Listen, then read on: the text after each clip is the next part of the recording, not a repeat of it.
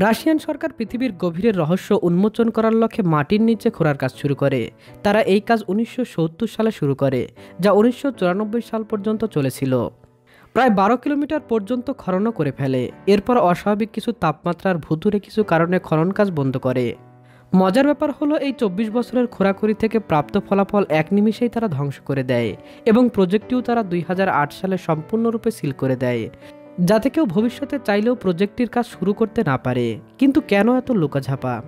Russian সরকার যাই ব্যাখ্যা দিক না কেন, অনেকেরই মতে অস্বাভাবিক গা সমসম করা ঘটনা এই প্রজেক্টটি একেবারে সিল করে দেওয়ার প্রধান কারণ। একজন রাশিয়ান বিজ্ঞানী সুপার বোরহোলের এতই গভীরে চলে গিয়েছিলেন যে তিনি সেখানে অস্বাভাবিক কিছু চিৎকার শুনতে পান। মনে হচ্ছিল সেখানে অসংখ্য মানুষের উপর অসহনীয় অত্যাচার হচ্ছে। তিনি একে সাউন্ড অফ হেল নামে অবহিত করেছিলেন। সাথে ভয়ানক কিছু কাহিনীও। নেটে একটু ঘাটলেই এই সম্পর্কে বিস্তারিত তথ্য পাবেন।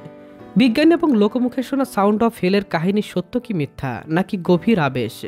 অনলাইনে পাওয়া সাউন্ডটা শুনেছিলাম, কিন্তু সেটা বিশ্বাসযোগ্য মনে হয়নি। সেটা আল্লাহ তালাই ভালো জানে। তবে মাটির নিচে কাজ করতে গিয়ে বিজ্ঞানী এবং ওয়ার্কাররা যে ভয়াবহ ঘটনার সম্মুখীন হয়েছিল, সেটা বিশ্বাসযোগ্য। সেসব কথা বাদ দিয়ে পবিত্র কোরআন কি বলে? যদি সোরা মুতাফিপিন পড়েন তবে অবশ্যই পাবেন। আল্লাহ তালা সিজ্জিনের কথা উল্লেখ করেছেন এখানে। তাফসির কারকগণ সিজ্জিনের ব্যাখ্যা করতে গিয়ে বলেছেন যে সিজ্জিন হচ্ছে ভূগর্ভের সবথেকে নিচের অংশের একটি জায়গার নাম, যেখানে কাফের, অত্যাচারী, মুশরিকদের আত্মা এবং তাদের আমলনামা জমা থাকবে। শুধু আমলনামাই নয়, জাহান্নামও কিন্তু মাটির নিচেই, একেবারে সপ্ত জমিনের নিচে। ইমাম ইবনে কাসির রহমতুল্লাহ আলাই ইমাম বাগবি রহমতুল্লাহ আলাই এবং ইমাম ইবনে রজব রহিমউল্লাহ একাধিক হাদিসে উল্লেখ করেছেন। তাতে তিনি বলেন সিজ্জিন হলো সপ্ত জমিনের নিচে। অর্থাৎ যেমনিভাবে জান্নাত সাত আসমানের উপরে অনুরূপভাবে জাহান্নাম সপ্ত জমিনের নিচের একটি স্থান। এত প্রযুক্তি থাকা সত্ত্বেও মাত্র বারো কিলোমিটার গর্ত করা পসিবল হয়েছে। যেখানে পৃথিবীর কেন্দ্র পাঁচ হাজার কিলোমিটারের অধিক গভীর। আল্লাহই ভালো জানেন, বিজ্ঞানীরা সিজ্জিনের কিছু নমুনা দেখেই পুরো প্রজেক্টটি বন্ধ করেছে কিনা।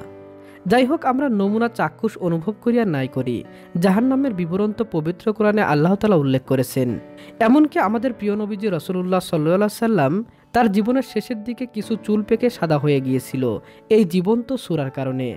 তিনি বলেন, সুরা হুদ, সুরা ওয়াকিয়া, সুরা মুরসালাত, সুরা নাবা, সুরা তাকবির এই ধরনের সুরাগুলো আমাকে বৃদ্ধ করে দিয়েছে।